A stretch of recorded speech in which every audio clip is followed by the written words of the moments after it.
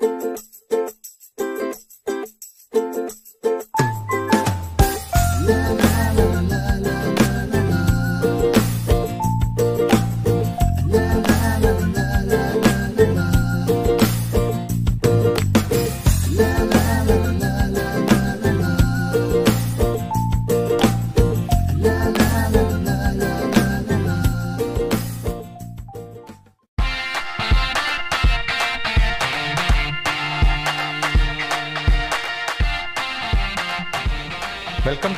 Uh, today we are going to discuss about dengue fever. Okay, you all may be knowing dengue fever is one of the commonest hemorrhagic fevers which is commonly seen in our country. Okay, we'll see what are the viral hemorrhagic fevers which are present all around the world. Okay, the commonest uh, fever in India is dengue fever.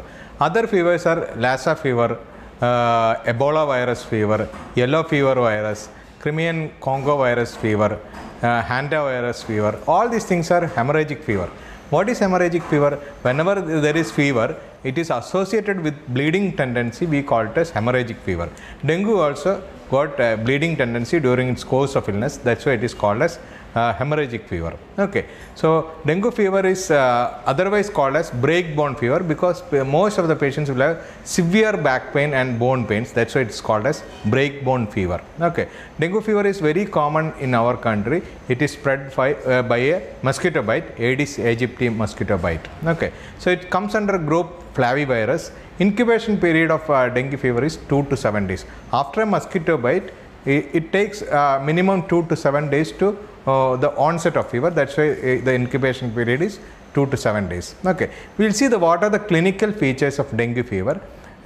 Every viral fever, including den- dengue fever, will have a prodromal phase. That means there is a small like duration two to three days duration where the patient will have severe weakness, myalgia, headache, all these things. But during that period, patient will not have any fever. Okay. A classical fever in dengue fever is described as a biphasic or saddleback type of fever. That means after two days of uh, prodrome, patient will have uh, two three days of fever, and fourth and fifth uh, day fever will subside, and again fever come back. So this is called as saddleback fever, and uh, it is also called as break bone fever. That's uh, that is because severe bone pains are very very common in dengue fever. Okay. Other features are like severe headache may be there, sweating may be there. Joint pains are one of the classical feature. Most of the patients with uh, dengue fever will have joint pains. Okay. Pain uh, of during the eye movements is severe lacrimation, eye congestion, all these things are very common. Like any other viral fever, these patients also will have anorexia, nausea, vomiting, abdominal pain, and loose stools. Loose stools are classically seen in many dengue fever. Okay, some patients can have relative bradycardia. That means, according to the fever, normally when you have a high degree fever, your your uh, heart rate will be increased. Uh, but in dengue fever and typhoid fever and all, you can get that uh, normal response will be blunted. Okay. Uh, you may not get a tachycardia associated with high fever. The heart rate may be slightly lower. Lymphadenopathy also seen in some patients. Okay. Now, many patients will uh, with the dengue fever uh, will have uh, rashes all over the body in first one to two days. It is not very common in all patients, but uh, some patients will have uh, rashes and it may desquamate after some times. Okay. So these are the clinical features. Okay. Now we'll see uh, what is uh, classification given by World Health Organization. There are four grades of dengue fever according to WHO. Grade 1 is patient will have fever, body pain, myalgia, constitutional symptoms and uh, petechiae uh, hemorrhages all, all over the bo- body. That is grade 1. Grade 2 patient can have spontaneous bleeding associated with grade 1 symptoms. Grade 3 patient can have previous symptoms spontaneous bleeding with circulatory failure or hypotension because of capillary leak. Okay, we'll see what is capillary leak. Whenever there is a fever or uh, infection, there may be micropores in your uh, blood supply and that can produce leak. That is called as capillary leak. That will lead to intravascular volume loss and circulatory collapse and shock. Okay, that is grade 3. Grade 4 is severe shock. So grade 1 only fever with associated features. Grade 2 spontaneous bleeding can be there. Grade 3 circulatory failure and early hypotension can be there. Grade 4 is severe shock. That is WHO classification. Okay. Now we'll see what is dengue hemorrhagic fever. There are four major features for dengue hemorrhagic fever.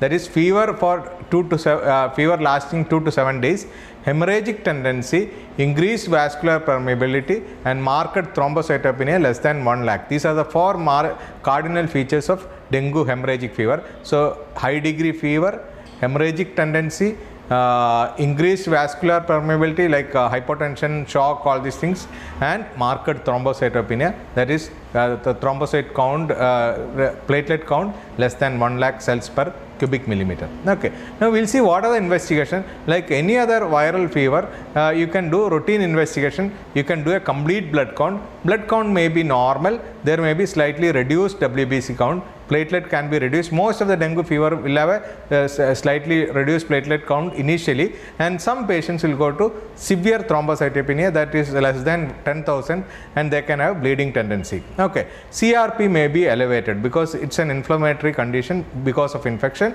CRP can be elevated. So these are the routine investigation done in first few hours. So counts are normal, platelet may be low, CRP may be elevated. If you are doing a procalcitonin that will be normal because procalcitonin will be elevated only in bacterial infection, viral infection will not be uh, there. If you take an X-ray, normal uh, course, uh, there will not be any change. Uh, but if the patient goes to ARDS, you can give, see uh, some bilateral infiltrates. Okay. LFT may show slightly elevated SGOT, SGPT.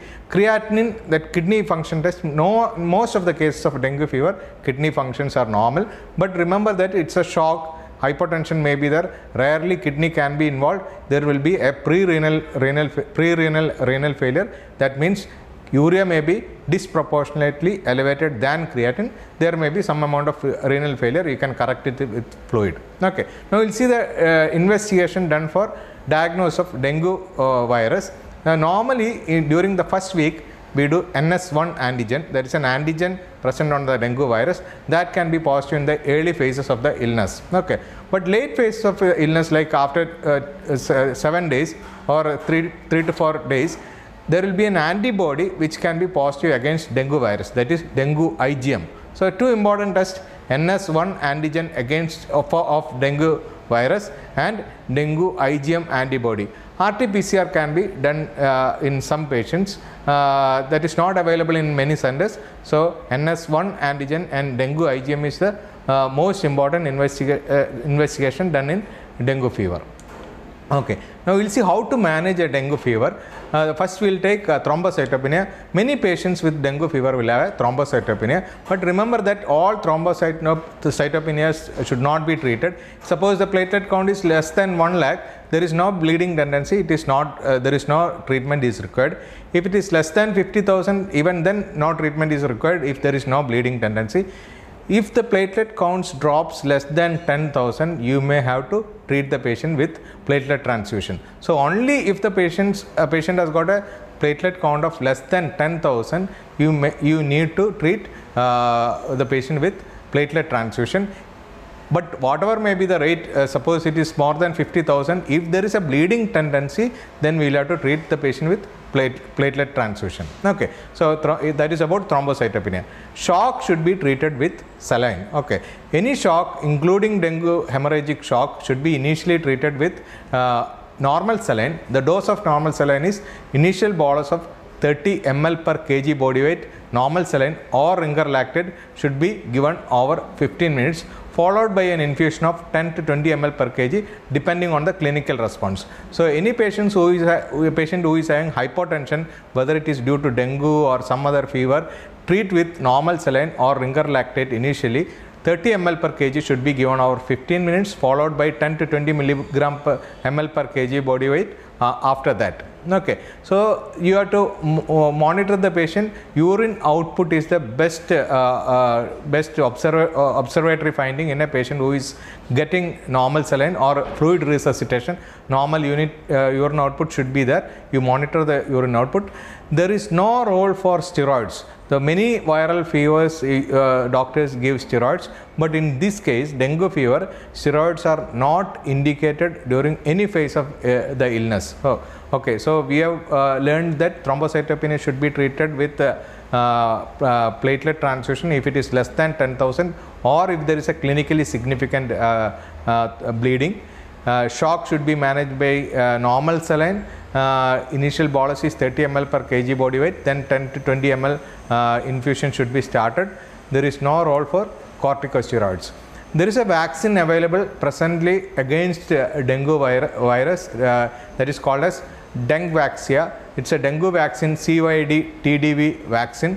Uh, so that can be given to prevent dengue infection. So vaccine can give protection against dengue virus in a, uh, a community where the dengue is very common. So that should be used. Okay. So we have discussed about a case uh, which is very common in our country that is dengue fever. The no, normal clinical feature is like any other viral fever, but rarely these patients can develop severe thrombocytopenia or shock. Thrombocytopenia should be treated with platelet transfusion if it is less than 10,000. Shock should be managed with uh, IV fluids and fever can be managed with paracetamol. Thank you.